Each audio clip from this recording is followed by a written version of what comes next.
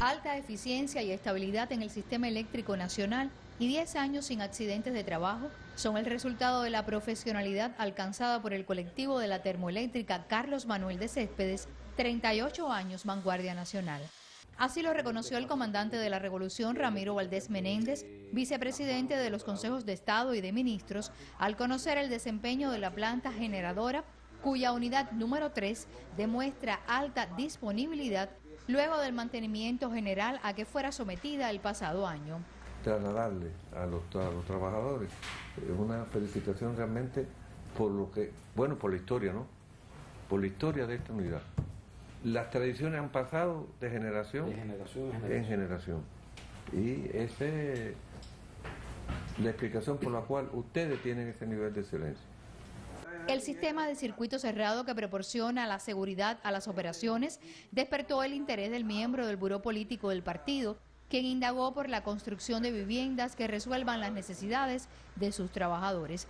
En tal sentido, convocó a utilizar las potencialidades de la industria como apoyo a la producción local de materiales, prioridad de la Política Nacional de la Vivienda.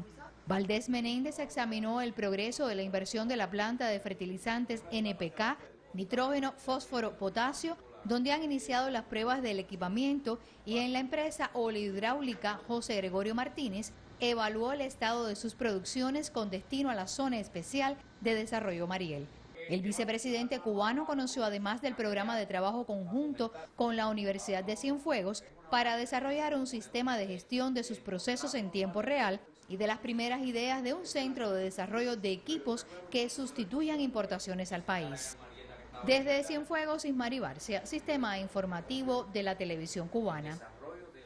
La vicepresidenta del Consejo de Estado y de Ministros, Inés María Chapman, chequea en estos momentos en la provincia de Holguín el amplio proceso de rehabilitación en las plantas potabilizadoras y algunas redes que abastecen a la ciudad capital. En declaraciones a nuestros reporteros, informó que en Cuba las inversiones en el sector hidráulico alcanzan los 400 millones de pesos. Cerca del 50% de ellas se ejecutan a través de proyectos de colaboración que avanzan a pesar de las restricciones económicas y del bloqueo. En su intercambio con trabajadores y población, reconoció el avance de las acciones. No obstante, aún quedan conexiones por hacer y todo ello impacta en la economía y la beneficia a la vez. Durante su recorrido, la dirigente llamó a buscar soluciones nacionales hoy cuando se arrecia la política política hostil en contra de Cuba. Sobre su visita a estos centros de interés económico y social de Holguín ampliaremos en próximas emisiones.